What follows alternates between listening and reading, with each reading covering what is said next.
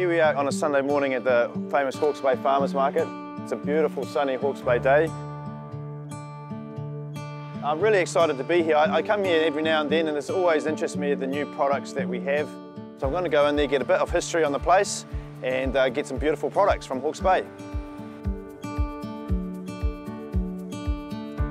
Every week we'd probably have between three and 5,000 people. Really? Is it the biggest food market in the country? Absolutely. Wow, that's awesome. Yep. Right here in Hawke's Bay? Right here in Cool. Hawke's Bay. Great.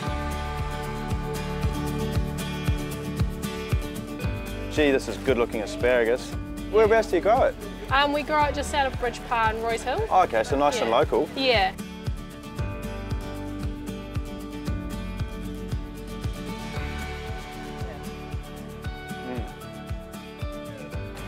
Yum. It's yum and it's That's good, yeah. again so versatile. Yeah, yeah, cool.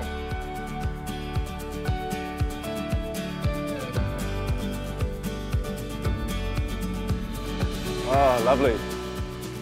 So we've got curds, uh, preserved lemons, lime marmalade, and then we've got all our salad dressings. So people at home can, you know, take a little bit of citrus from the Hawke's Bay away with them and, and use it in their cooking at home, uh, give it a little bit of oomph, a bit of citrus burst.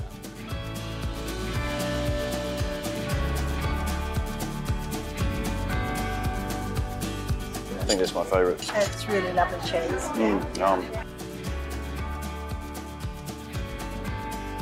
We've got seven different uh, flavored olive oils. Yep. Olives grow best in areas where they grow really great red wine. Right. Is there anywhere else you'd rather be in New Zealand to grow beautiful wine? No, because we're frost-free, free draining. Love where we are because we're close to the ocean, so we get can make those wines that I love making, which is those aromatics.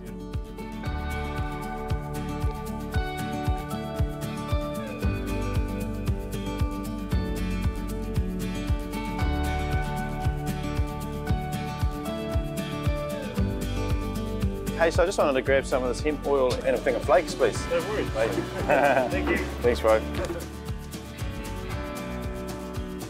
The Hawke's Bay Farmers Market runs every Sunday, uh, rain, hail or shine. Every um, weekend we are here and uh, yeah, welcome.